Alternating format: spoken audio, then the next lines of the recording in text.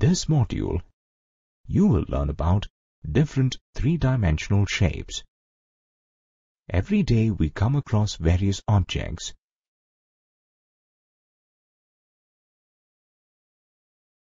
For example, a ball, a brick, an ice cream cone, and a can. All these objects have a three-dimensional shape. A solid shape will generally have dimensions like length, breadth, and height. Let's consider a brick. It forms a three-dimensional shape called a cuboid. A cuboid is formed with six rectangles. These rectangles form the surface of the cuboid. They are called the flat faces or simply face. A cuboid has six faces. Two faces join to form the edge of the cuboid. An edge can be defined as a line segment formed by joining two faces of a solid shape. A cuboid has 12 edges. Three edges of the cuboid join at a point. This point is called a vertex. A vertex of a solid shape can be defined as a point where three or more edges meet. A cuboid has eight vertices. To sum up, a cuboid has six faces, 12 edges,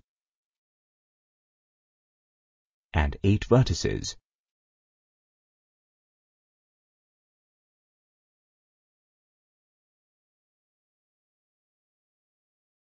Now, look at this cuboid.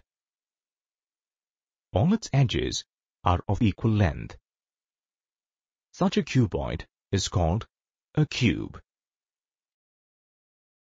Next, let's look at another three-dimensional shape, which is called a triangular prism. A triangular prism is formed with two triangles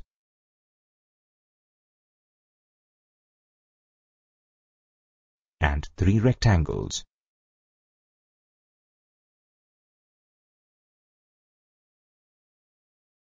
The two triangular faces of the prism are called its bases. The rectangular faces form the lateral surface of the prism. In all, there are five faces, nine edges, and six vertices in a triangular prism.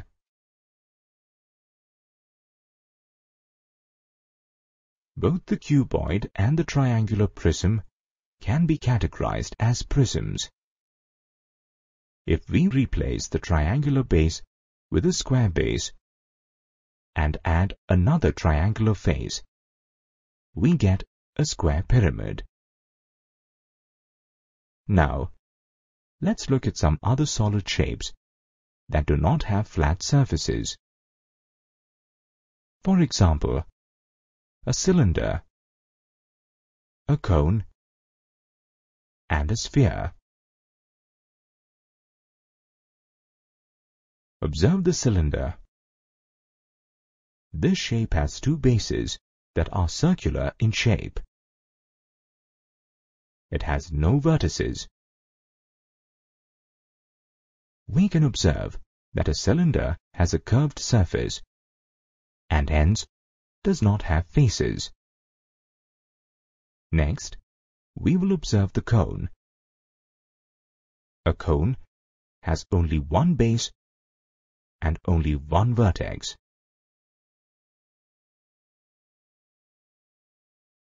The other surface is a completely curved one. If we observe the sphere, the surface is spherical. It has neither edges nor vertices.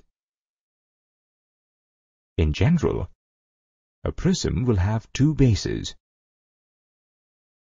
Here, for this prism, the bases are triangles. The other faces are rectangular in shape.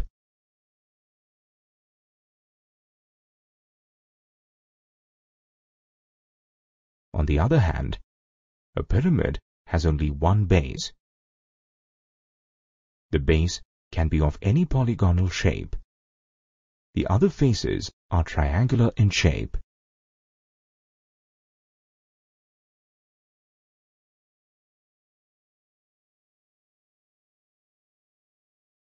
Each pyramid is named after the shape of its base. For example, a pyramid with a square base is called a square pyramid. In this module, you learnt that a solid shape will generally have dimensions like length, breadth, and height. A face is the flat surface on a solid figure. Two faces meet to form the edge of a three-dimensional shape. An edge resembles a line. Three or more edges meet at a point to form a vertex of a three-dimensional shape.